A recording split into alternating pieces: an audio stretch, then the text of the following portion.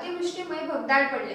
तीव्र धरण फुटल्याने पूर्ण वाडी वाहून गेली असून एकवीस जण बेपत्ता झाले. आतापर्यंत यांपैकी सहा मृतदेह हाती लागले. रात्री सुमारे नऊच्या सुमारास ही घटना घडली. रत्नागिरी जिल्ह्यात झालेल्या अतिवृष्टीमुळे चिपळूण तालुक्यातील तीव्र धरण फुटलं आहे. या घटनेत पाणलोट क्षेत्रातील सात गावात पूरसदृश्य परिस्थिती निर्माण झाली असून एकवीस जण बेपत्ता झाले. तर सहा मृतदेह हाती लागल्याची माहिती समोर येते. अलोरे शिरगाव पोलीस चौकीच्या हद्दीत साडेनऊच्या सुमारास ही घटना घडली. यात तीव्र भेंदवाडीतील काही घरं पाण्याखाली गेली असून यात गुरढोरांचाही देखील समावेश आहे. तिवरे धरण फुटल्याने नजीकचा दादर पूलही पाण्याखाली गेलाय. ओवळे रिक्टोरी आकले दादर नांदिवसे कणकवले सती गाणे या गावांना सतर्कतेचा इशारा देण्यात आलाय.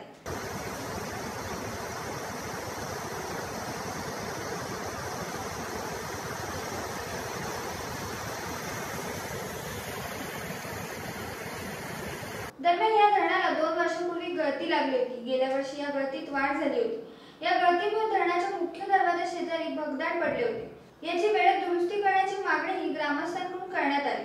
ग्रामस्थांच्या तक्रारीनंतर स्थानिक लोकप्रतिनिधी आणि प्रशासनाकडून गेल्या वर्षी या धरणाची संयुक्त पाहणी करण्यात आली होती. मात्र त्यानंतरही धरणाच्या दुरुस्तीला काही वेग आला नव्हता.